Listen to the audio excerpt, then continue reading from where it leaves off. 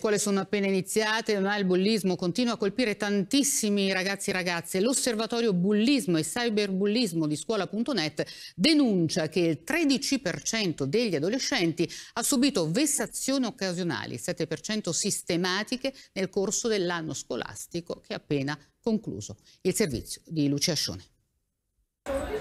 Un adolescente su cinque è vittima di vessazioni occasionali o sistematiche da parte dei coetanei. Dietro i numeri della ricerca dell'osservatorio bullismo e cyberbullismo ci sono adolescenti dagli 11 ai 16 anni, la fascia di età più rappresentata, derisi, offesi e umiliati, frequentemente dagli stessi compagni di classe con cui condividono anni di scuola e di vita.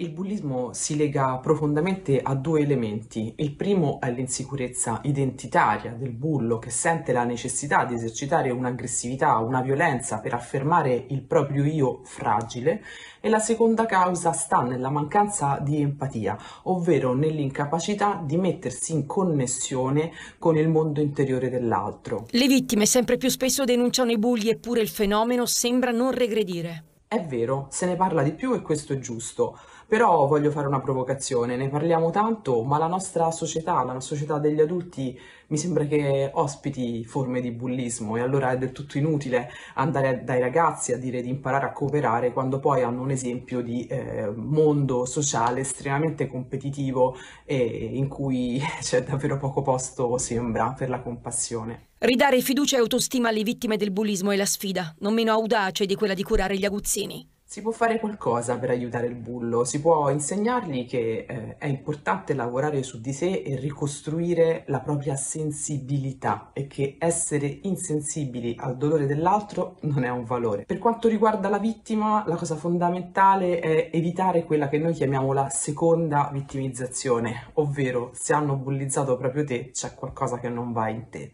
Non è vero, non c'è niente che non va in te e si può ricostruire anche per la vittima una solida autostima.